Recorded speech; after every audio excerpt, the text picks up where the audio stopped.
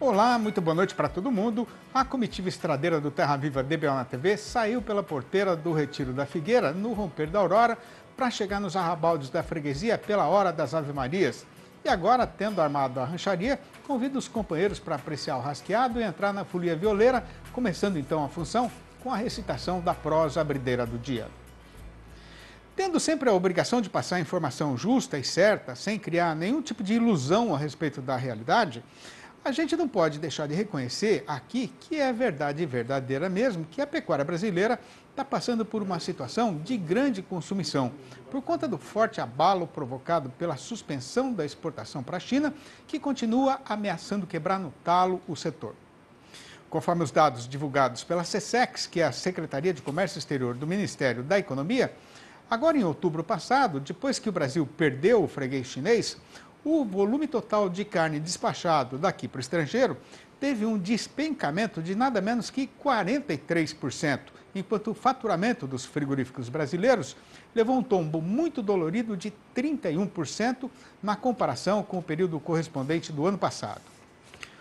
O problema da indústria exportadora brasileira agora é que ninguém sabe quando a China vai reabrir a porteira para nossa carne bovina, nem em que condições. E considerando ainda que eles já estavam procurando outros fornecedores desde antes desse rolo da falsa vaca louca, é questão de prudência e sabedoria arrumar jeito de aumentar a nossa atual freguesia. Por outro lado, o que tem para ser contado é que, juntando o despencamento do preço do boi aqui no nosso terreiro com a arribada desinvestada do dólar em relação ao real, no dinheiro norte-americano a arroba do Brasil passou a ser uma das mais baratas do mercado internacional. De acordo com o pessoal da consultoria Agrifato, depois de passar de 63 dólares em junho deste ano presente, o valor do nosso gado pronto despencou para 50 dólares na média do mês passado. Logicamente que não vai ser de repente que isso vai começar a influenciar a negociação, mas vale a pena, desde já, prestar atenção no comportamento dos países que estão comprando da gente, né? Pois então, considerando o resultado acumulado de janeiro até outubro, depois da China, os Estados Unidos é que foram o principal destino do produto brasileiro, com um total de 95.759 toneladas importadas e um aumento de 96,3% em relação a 2020. O próximo da lista foi o Chile, com um crescimento de 23,1%. Na quarta posição está o Egito, mas este diminuiu suas compras em 54,9%.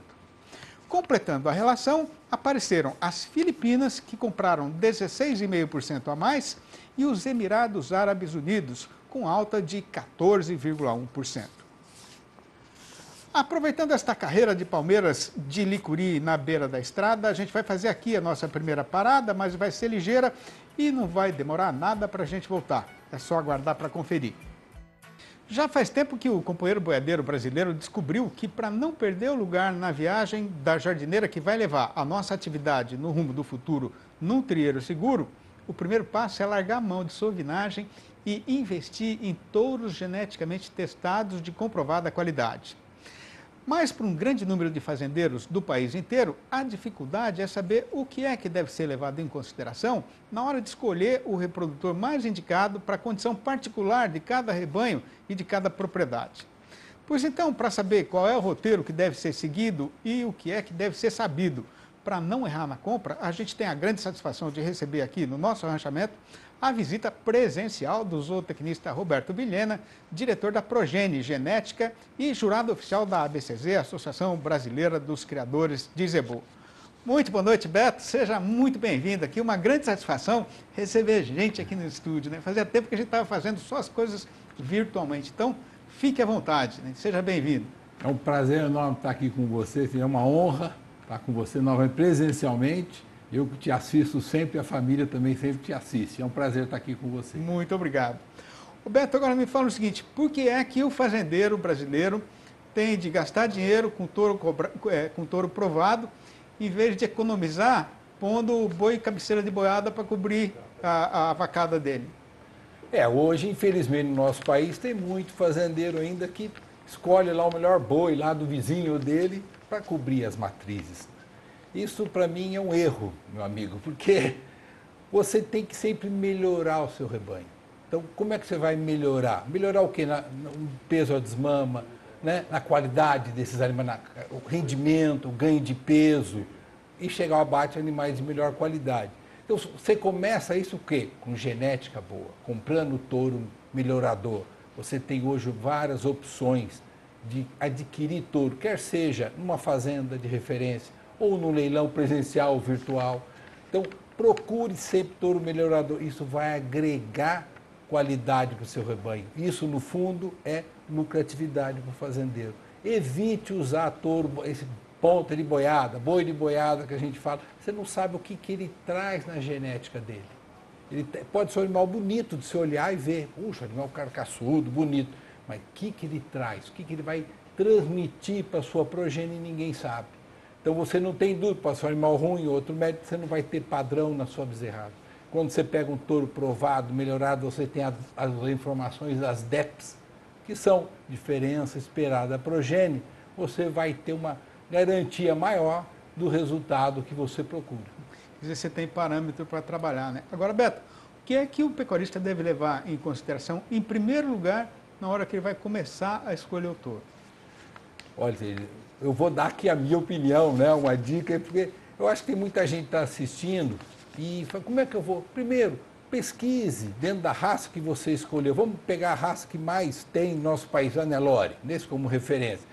E quais são as fazendas, referências que você gosta do trabalho de seleção que eles fazem? Hoje pela internet, você tem muito acesso à informação na televisão, no jornal, para você chegar e falar, ah, vou procurar essa linhagem, me interessa. Aí você vai né, conhecendo essa fazenda, você vai procurar o que, que eu preciso melhorar no meu rebanho, é a habilidade materna das minhas matrizes. Então você tem condição hoje de pegar uma linhagem que é mais leiteira dentro da raça Nelore e você tem a informação dos sumários, que são feitos com, por técnicos com muita qualidade no nosso país, que vai te dar uma ferramenta para você escolher o melhor reprodutor que vai melhorar essa característica que você deseja. Então, eu preciso melhorar a habilidade materna da nossa matriz.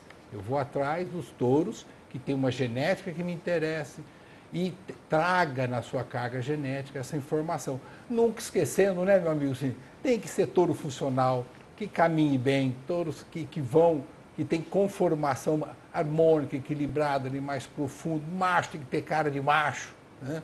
Os hormônios masculinos atuando, muito bom de, de, de aprumos posteriores, anteriores, e principalmente o escroto para a produção de espermatozoide e o vergalho bem direcionado para que ele possa cumprir a função do reprodutor, que é cobrir as fêmeas e emprenhar as fêmeas. Roberto, agora tem muito pecuarista né, que não está muito familiarizado com esses nomes. Né? Então, por exemplo, o que, que é touro PO, o que, que é touro CIP, qual a diferença? Olha, é o, uma boa pergunta. Eu acho que muita gente confunde isso, né? Então, vamos lá. Touro PO é puro de origem.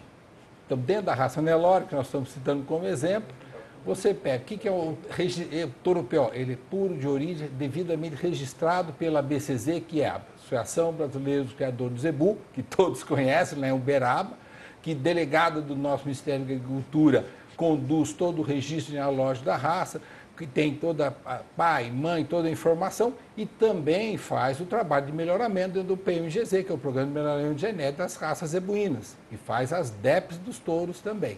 Né?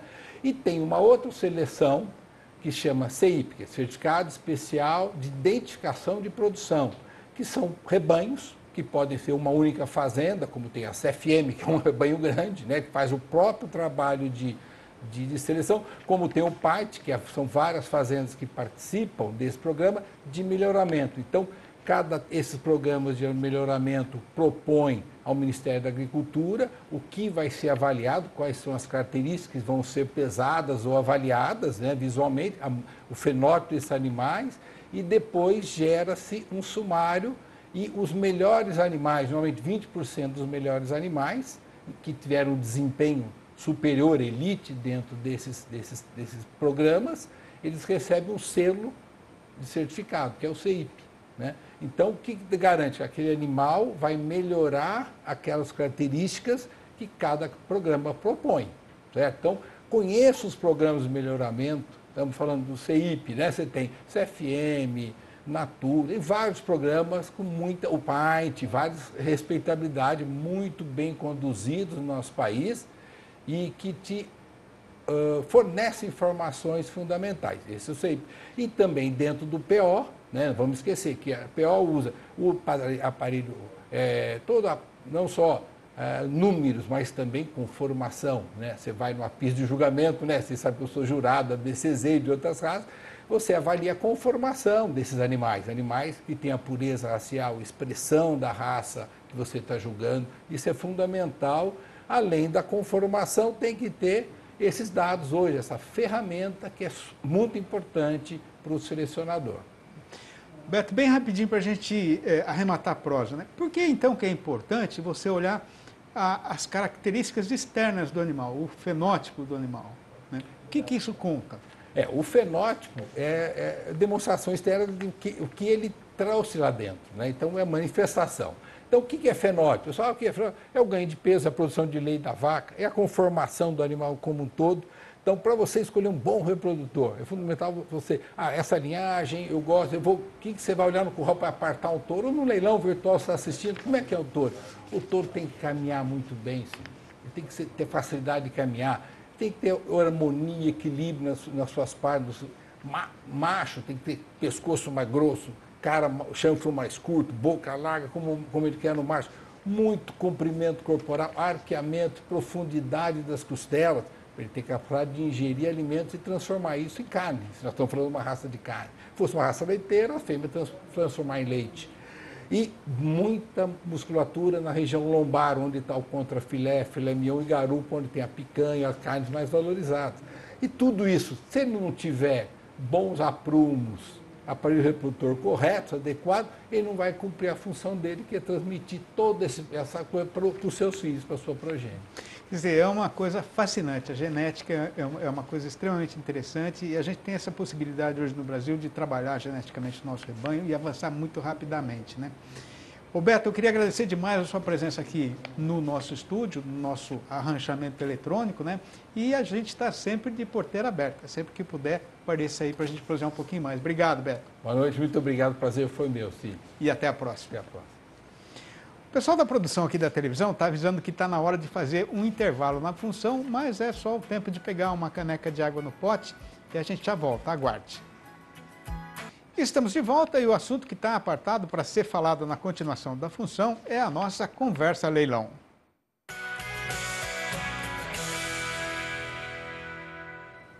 E nesta quinta-feira, a partir das 8h35 da noite, o Terra Viva transmite o 63º leilão virtual Comitiva do Pega.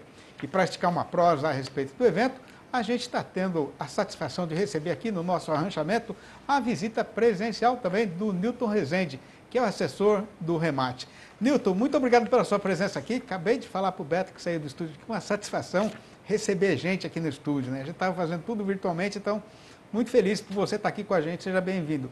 Como é que é essa oferta, como é que é essa tropa que vocês vão pôr na pista hoje, Newton? Boa noite, Sidney. Ah, o prazer todo meu mais uma vez estar aqui e a gente poder estar divulgando esse trabalho, um, um, um leilãozaço, viu, Cid? Uma, uma oferta bem diversificada. Nós temos aí, começando a estação de monta agora, nós temos jumentos prontos, nós temos alguns jumentos jovens, nós temos pouquíssimos lotes de jumentas, nós temos mulas de patrão, no caso dessa mula que está sendo, tá sendo mostrada, uma mula belíssima. É, nós temos burros também de patrão, alguns animais, algumas mulas jovens. É, é um leilão de grandes oportunidades, viu, Sidney? As éguas paridas, conforme eu tenho falado, é, no caso, esse lote que está sendo mostrado aí, um lote fantástico da Estância Sancara. Essa égua está trazendo ao pé uma mula maravilhosa, linda, linda, que a gente só tem que agradecer de poder estar tá, tá batendo martelo com uma mula, um lote magnífico igual esse aí. Ô Nilton, como é que está a demanda por esse tipo de animal, animal de serviço, basicamente, animal que aguenta o tranco? O, o, a, a demanda está maior para o animal de passeio.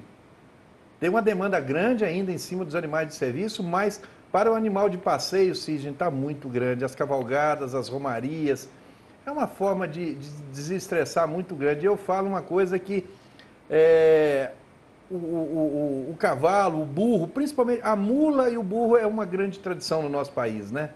Não Isso tem é uma, coisa mais bonita, Não tem, né? não tem. Eu falo que não tem. É uma grande tradição. E é, e é, é o tipo do, do, do, do esporte que ele une a família. Onde está o pai, está a mãe, está o filho, está a filha, está ali reunido. Você pode ver isso. Nenhum outro esporte consegue fazer isso. O esporte equestre consegue, as cavalgadas conseguem unir as famílias. E os criadores, vendo isso, estão buscando fazer mulas e burros, quebrar aqueles dogmas antigos, né? que tinha que, que burro numa mansa, isso não existe. Nós temos animais extremamente bem domados, dóceis. Nesse leilão mesmo, é, é, o caso dessa mula que está sendo apresentada aí na tela, aí, uma mula belíssima, extremamente machadeira e de uma docilidade incrível. Aquela primeira mula que foi apresentada, mula para a senhora montar, mulher montar, para a pessoa montar com toda a tranquilidade do mundo. Então, é isso que a gente tem buscado muito trazer para o amigo, viu, Sidney? Agora, em termos de, de genética, Milton, como é que a gente está avançando né, uh, nesse, é, nesse segmento de, de mulas, de jumentos principalmente? Dizer, o jumento passou por uma seleção muito forte, muito interessante no Brasil ultimamente, né? Muito. Em cima disso que eu estou te falando, os criadores, vendo isso, vendo essa necessidade, estão fazendo uma seleção genética em cima de índole, principalmente índole, impressionante. A gente só tem a agradecer aos criadores pelo trabalho feito, escolhendo também matrizes de índole muito boa, não só buscando a morfologia e o andamento, mas ainda fazendo um conjunto, né? E esse leilão, Sidney, é um leilão que o amigo pode ter oportunidade, pode ter a, a, a satisfação de estar acompanhando, porque se quer uma mula boa, tem, tem tudo. Leilão hoje às 20h30, com transmissão aqui pelo canal Terra Viva, um leilão onde a Fiel Leilões vai estar tá, vai tá organizando. Muito bom. Nilton, muito obrigado por você estar aqui com a gente. Evidentemente que nós vamos acompanhar o trabalho, né? Tem coisa muito boa para ir para a pista. Vamos estar junto. Obrigado, um abração para você e é, parabéns pelo trabalho de vocês. Eu que agradeço, Seja. E até a próxima. Obrigado. Plantando milho no eito sapateado, a gente já está com o serviço feito na metade do terreiro demarcado, sendo então esta hora apropriada para fazer um intervalo ligeiro. E quando a lida for retomada, a conversa apartada para animar o restante da jornada será sobre a situação atual do mercado do boi gordo, que tem hoje a seguinte chamada avisadeira. A China continua de porteira fechada para a carne bovina brasileira, mas a falta de gado terminado e a demanda mais animada estão empurrando a nossa praça boiadeira em desabalada carreira na subida da ribanceira. A gente volta dentro de três minutos e mais um caquinho, aguarde. Estamos de volta e mudando o rumo da conversa sem perder o gancho do comércio boiadeiro, o Terra Viva DBO na TV passa a fazer agora ao parceiro que acompanha esta nossa falação a recitação do caso que foi passado com o boi gordo no mercado.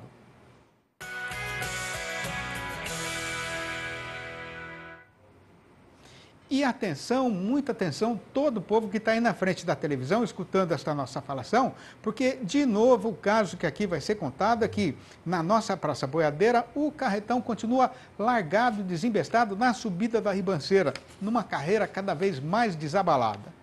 Conforme o companheiro boiadeiro e a amiga fazendeira já estão devidamente informados, a parte principal da explicação para esta situação atual é a conjuminação do encurtamento da oferta de gado terminado com o aumento da demanda aqui no nosso mercado caseiro. O que aconteceu foi que a boiada engordada no confinamento já foi toda negociada e o que ainda não tinha chegado no peso, o dono mandou voltar para a invernada porque não dava para vender no preço que estava, né? Pois isso aconteceu logo depois da virada do calendário, com o trabalhador empregado já recebendo o pagamento do salário e ainda com dois feriados emendados no espaço de duas semanas. Aí, sem ter mercadoria para encher o caminhão, o comprador está sendo obrigado a devolver uma boa parte do valor que ele tinha tirado da cotação. No balanço do dia da Scott Consultoria foram apuradas mudanças nos preços em 22 das 32 regiões pesquisadas no país inteiro e todas foram no Trieiro de Morro Acima. Em Barretos e em Araçatuba, aqui no estado de São Paulo, o boi subiu para R$ 287,50, uma alta de R$ 11,50 só de quarta para quinta-feira. A vaca foi para 266 reais para pagamento a prazo e já livre do funeral. No Rio de Janeiro, o macho pulou para 278 reais. Em Belo Horizonte, a capital das Minas Gerais, o boi avançou para R$ 282,50 e a vaca para R$ 268. No norte do estado, o macho passou para 270 reais e a fêmea para R$ 258. Na região sul, o boi está por 273 reais e a vaca por R$ 260. Em Goiânia, a capital do Goiás, o macho vale 270 reais e a fêmea R$ 256. No sul do estado, os preços novos são 266 reais para o boi e R$ 251 para a vaca. No norte do Tocantins, o fazendeiro está vendendo macho a 261 reais e fêmea a R$ 251. No sul tocantinense, o valor do boi agora é 256 reais e o da vaca R$ 248. Em Dourados, no estado de Mato Grosso, de Mato Grosso do Sul, o macho aumentou para R$ 285,50 e a fêmea para R$ 266. Em Três Lagoas, o boi já não sai por menos do que 274 reais, e a vaca do que R$ 258. Em Cuiabá, capital de Mato Grosso, o macho arribou para 266 reais e a fêmea para R$ 248. No sudeste do estado, o boi está sendo negociado a 254 reais e a vaca a 244 reais e 50 centavos. No oeste do Maranhão, o macho foi reajustado para 263 reais e a fêmea para R$ 247. No sul da Bahia, a oferta pelo boi é de 278 reais e pela vaca de R$ 270. No Espírito Santo, o macho está custando 273 reais. Em Marabá, no Pará, o comprador paga pelo boi 256 reais, e pela vaca R$ 253. Em Redenção, o macho encareceu para 256 reais, e a fêmea para R$ 246,50 centavos. Em Paragominas, o boi sai por no mínimo 266 reais, e a vaca por R$ 253. No sudeste da Rondônia, o macho fechou o dia em 266 reais e a fêmea em 248 reais. No noroeste do Paraná, só sai negócio com o boi a R$ 290,50 e a vaca a 271 reais. Sábado era dia de feira na freguesia do Tabuado e para fazer a carga da nossa carroça, toda sexta eu ia ajudar o pai na roça primeiro no milharal para catar um saco de espigas no ponto de curau, depois arrancar uma rua de mandioca para a mãe fazer biju, farinha e massa de tapioca. E antes de pegar o trieiro para o arraial, na alta madrugada, a derradeira parada era no galinheiro para pendurar uma dúzia de frangos no varal, recolher o que tivesse de ovo e juntar tudo para poder atender o gosto do povo. Esta e outras trovinhas que eu fiz falando dos amores, da lida e da vida do povo sertanejo foram reunidas e publicadas no meu novo livro, que foi batizado com o título de Versinhos de Caipira, Interou os Quatro, e continua fazendo carreira neste imenso chão do sertão brasileiro. Para saber como fazer para ser possuidor de um exemplar ou da coleção inteira, os companheiros e companheiras boiadeiros ou não do Brasil inteiro podem ligar diretamente para mim no meu telefone particular, que é o 11 98 224 1807, ou mandar um e-mail para sidneymasco.com.br ou ainda achar o meu nome lá no Facebook. E tendo terminado o serviço que foi empreitado do jeito que estava combinado, a comitiva faz aqui a sua despedida, mas já deixa decidida e marcada a volta do Terra Viva DBO na TV para amanhã, às seis e meia da manhã e às sete e vinte e cinco da noite. Um abraço para todo mundo, um abraço especial para o Celso e para a Nívia, lá de Campinópolis, em Mato Grosso, e até mais ver então.